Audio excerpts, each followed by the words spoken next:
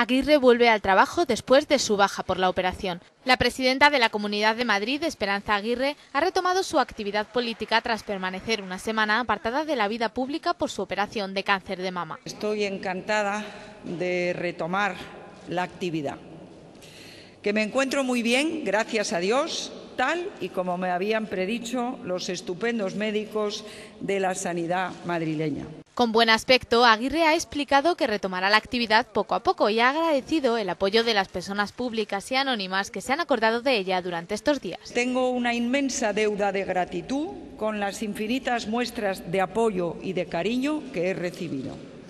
Han sido innumerables y muy emocionantes, sobre todo las de todos esos ciudadanos anónimos que me han expresado su apoyo de muy diferentes maneras.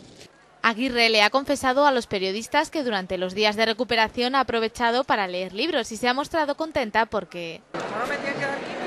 Así se lo ha desvelado a la prensa y además de los apoyos de esta, también Francisco Granados se ha alegrado de su vuelta. Yo creo que es la, gran buena noticia del día, que la presidenta pues, se incorpora otra vez al trabajo, que se va recuperando muy bien y que ya, como ha podido comprobar, pues está en plena forma. Granados ha acompañado a Aguirre en su primer acto, la presentación de un proyecto para dar la posibilidad a los pacientes de que registren digitalmente su huella dactilar de forma voluntaria, con el fin de que a partir de ese momento esas huellas sirvan para identificarles en caso de necesidad.